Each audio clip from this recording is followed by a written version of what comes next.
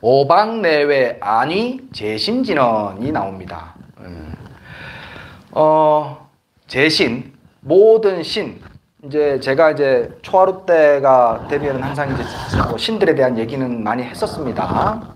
불교는 어, 다신을 아, 신들을 많이 얘기를 하고 불교에서 신들은 전부 다 우리하고 똑같이 윤회하고 나고 죽습니다. 그리고 어, 불법을 수호하기로 맹세한 양반들이다라고 내가 얘기를 했죠. 어, 오방 내외 아니 제신이란 말은요. 오방 어, 사방과 하늘 위까지 모든 세상을 얘기하는 겁니다. 그 모든 세상들 어, 사방과 중앙, 예, 사, 방과 중앙까지 해가지고 오방이거든요. 내가 속해 있는 이 모든 세상에 있는 모든 신들을 안위, 편안하게 하고 위로한다라는 뜻이에요. 요 진언은.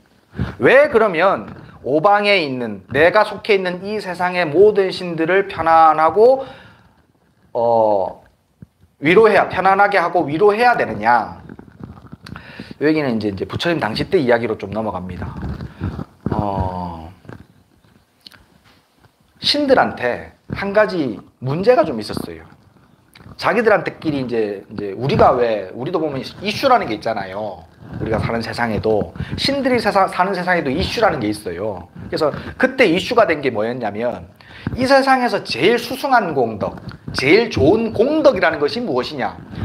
어, 사람은 뭘로 우리가 자양분을 삼아서 살죠? 경제 활동을 해야 되잖아요. 그러면 뭘로 살아요? 돈을 주고 받고 살잖아요. 돈을 주고 받고 사는데 사람은 그런데 신들은 뭘로 사나요? 공덕으로 삽니다. 음. 공덕이 얼마나 크냐, 공덕이 얼마나 많으냐에 따라 가지고 직급이 높고 낮아, 낮아집니다. 인간은 돈이 얼마나 많고 적으냐에 따라서 직급이 나눠지지 않았습니까? 그죠? 근데 이제 그거를 신들의 세계로 옮겨가면은 우리가 생각하는 돈이 신들에게는 공덕이다고 이해하시면 됩니다. 그래서 신들은 우리가 돈에 환장하는 것처럼 공덕에 환장해요. 예. 공덕만 있으면 그냥 뭐든지 하려고 노력합니다. 그래서 공덕 중에 가장 수승한 공덕이 뭐냐? 우리말로 하면 돈 중에 제일 큰 돈이 어, 떻게 버느냐 이렇게 생각하시는 거 똑같다고 생각하시면 돼. 그건 전부 다 귀가 솔깃하죠. 돈 어떻게 잘 버느냐. 큰 돈 어떻게 나, 내가 버느냐. 그거를 전부 다 솔깃하게 해가지고 공덕을 가장 큰 공덕 짓는 것에 전부 다, 다 이제 이슈가 돼 있었습니다. 어느 것이 가장 수승한 공덕이냐. 그리고 또 그 공덕으로 얻는 것이 뭐냐면 신들은 즐거움입니다. 내가 그건 똑같아요. 우리도 돈으로 얻는 것은 즐거움이지 않습니까? 예, 신들도 공덕으로는 즐거움을 얻어요. 그래서 가장 좋은 즐거움은 뭐냐? 그게 이슈가 됐어요. 그래서 신들끼리 서로 막 그런 걸 토론을 하는 거예요. 근데 결론이 안 돼. 결론이 안 나. 어떤 공덕이 제일 좋고 어떤 즐거움이 제일 좋은지에 대한 결론이 안 납니다. 그래서 그걸 제석천왕, 신들의 왕이에요. 신들 중에 가장 높은 왕이 제석천왕입니다. 제석천왕에게 질문을 합니다. 신들이 모여가지고. 근데 제석천왕도 확답을 못 해줘. 자신이 없어. 어떤 것이 제일 좋은 공덕인지. 그래갖고 제석천왕이 가만히 보니까 지상에 석가모니 부처님이 출연해가지고 법을 펴고 있거든. 예. 그래서 부처님, 그 저 양반이 일체, 석가모니 부처님은 일체 지자, 모든 것을 다 아는 분이거든요. 일체 지자라고 불러요. 그래서 석가모니 부처님이 일체 지자니까 석가모니 부처님한테 가서 물어보면 아마 명확한 답을 주실 수 있을 거다. 우리 다 같이 부처님한테 가보자. 그래가지고 신들의 무리들이 제석천왕을 앞세워서 부처님의 회상에 내려온 겁니다. 그래서 부처님에게 여쭤요. 어떤 것이 가장 수승한 공덕이고 어떤 즐거움이 가장 좋은 공, 좋은 즐거움입니까? 라고 물으니까 부처님이 대답하시기를 법을 보시하는 것이 가장 큰 공덕이고 법의 즐거움이 가장 큰 즐거움이다. 라고 얘기하십니다. 예. 그 말을 듣고 모든 선신들은 맞다. 그것이 정답이다. 라고 전부 다 가슴을 치면서 인정합니다. 그러면서 부처님께 간곡하게 부탁을 하죠. 법이 진리, 법은 진리예요.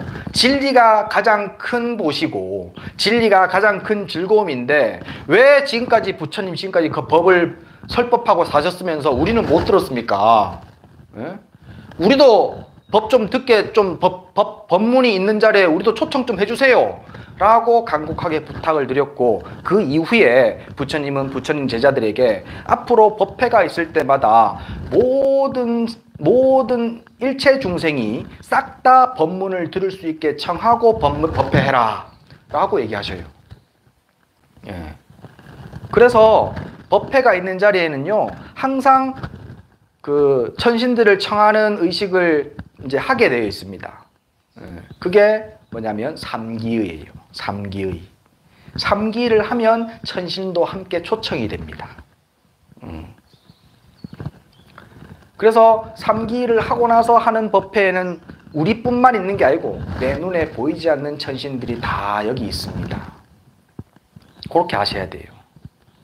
그래서 오방 내외 아니 죄신 진언을 하면 이 자리에 있는 천신들이 그 자리를 잘 차지하고 앉아가지고 떡하니 주인 노릇하면서 당당하게 이 자리에 참석하는 겁니다.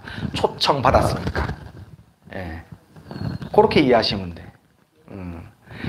그 또 이런 천신에 대한 얘기가 이제 또 경전에 또 나오는데요. 부처님 경전에 그것도 또 재밌어.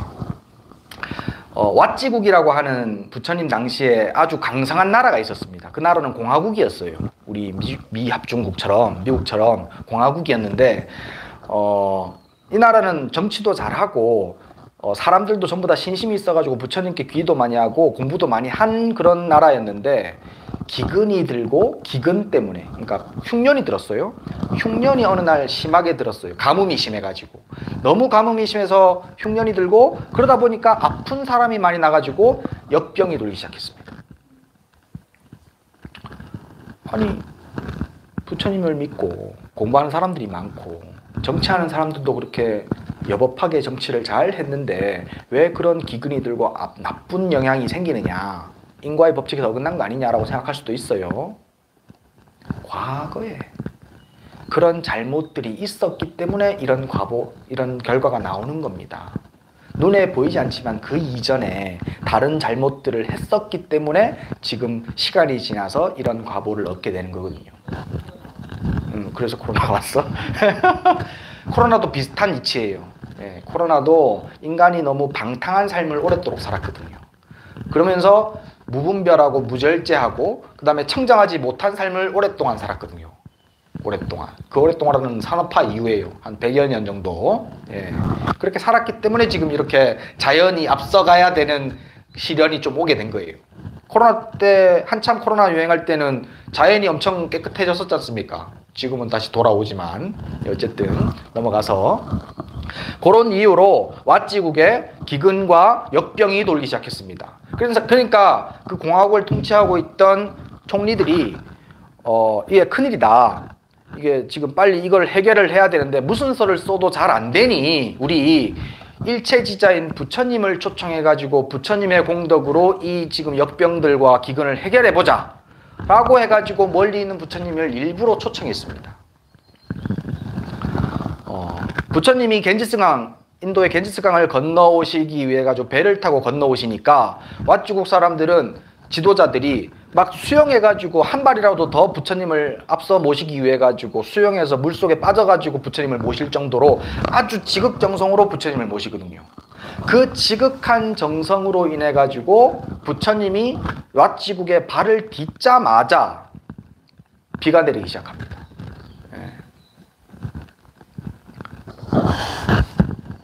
부처님이 가시는 곳에는요, 항상 천신들이 따라다니거든요. 예. 그러니 천신들이 그곳에 역병이 있는 것을 못 보는 거예요. 그러니까 역병들을 물리쳐 버립니다. 천신들이 잘, 살, 자기가 깨끗한 거 좋아해서. 예. 그래서 비를 내려가지고 역병에 걸려있던 시체들을 싹 다 씻어내버리고 기근들을 싹 다 몰아내버립니다. 음. 그래서 바로 안정이 돼버려요.